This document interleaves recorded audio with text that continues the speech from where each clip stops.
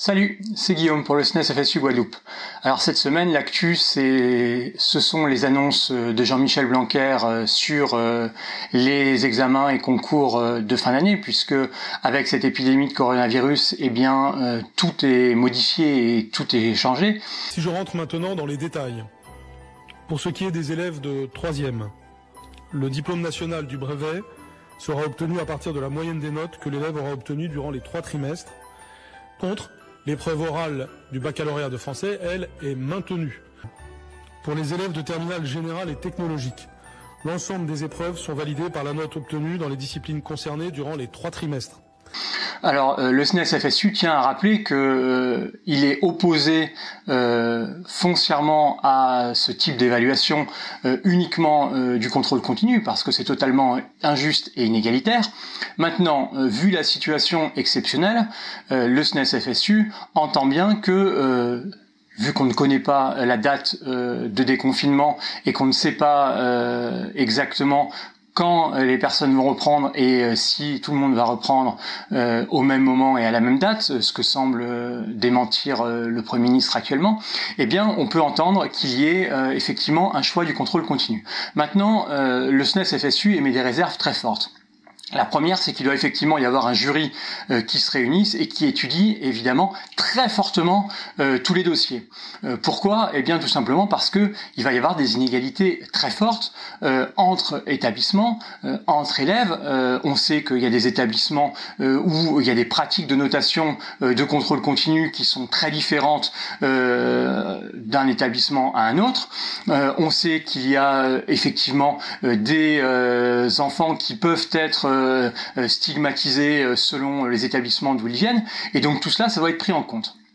Le deuxième point sur lequel le SNES FSU sera intransigeant, c'est sur les notes du troisième trimestre. Le SNES FSU continue de porter la revendication qu'aucune note du troisième trimestre ne soit prise en compte pour les examens du brevet et du baccalauréat.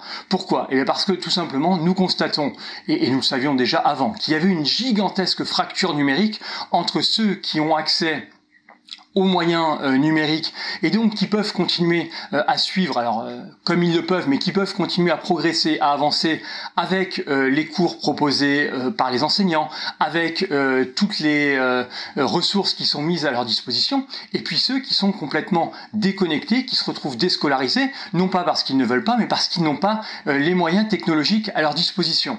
Euh, et en Guadeloupe on a euh, des zones grises, où on a euh, un taux de population très pauvre particulièrement important, eh bien ces, ces distorsions vont être tout simplement gigantesques. Et donc même si on reprenait les cours ne serait-ce qu'à la mi-mai, eh bien, penser évaluer des élèves qui auront été déscolarisés pendant presque deux mois, eh bien, ça créerait des injustices gigantesques entre ceux qui auront suivi un cursus même à distance et euh, avec toutes les difficultés qu'on connaît, et puis ceux qui n'auront rien suivi du tout. Donc il est bien clair que toutes les évaluations du troisième trimestre ne doivent pas compter euh, ni dans le brevet ni dans le baccalauréat.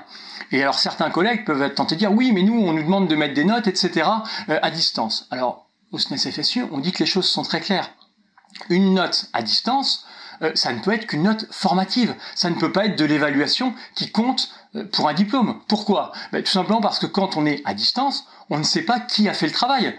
Est-ce que c'est euh, le grand frère? Est-ce que c'est euh, Google qui dont on a pris la première page et qu'on a recopié? Est-ce que c'est un copain qui l'a fait et puis on a recopié son travail? Ou est-ce que c'est l'élève qui a fait le travail sérieusement et qui l'a envoyé? On n'en sait rien. Et donc à partir du moment où on n'en sait rien, eh bien l'évaluation que l'on peut être amené à faire pour vérifier que l'élève progresse, etc. à distance, eh bien c'est une évaluation formative pour l'élève vérifie par lui-même qu'il progresse, qu'il a bien acquis et qu'il a bien compris euh, ce que l'enseignant lui demandait, mais rien de plus. Et donc il n'est pas question que ces évaluations-là puissent compter pour un quelconque diplôme, ce qui créerait des injustices encore plus fortes entre, une fois encore, ceux qui ont accès à des ressources et puis ceux qui malheureusement n'y ont pas accès parce qu'ils n'ont pas les moyens financiers. Il est impossible que euh, aujourd'hui on donne un diplôme en créant euh, des distorsions sociales et socio-économiques insupportable.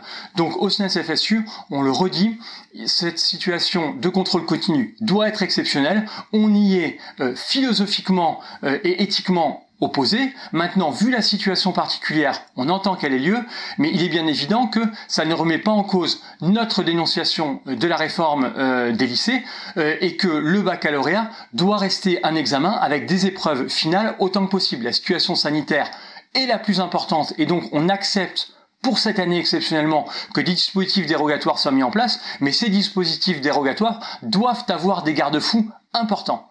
Voilà, donc on espère que vous allez bien, euh, que vous prenez toutes les mesures nécessaires pour respecter le confinement pour ne contaminer personne et pour ne pas être contaminé vous-même.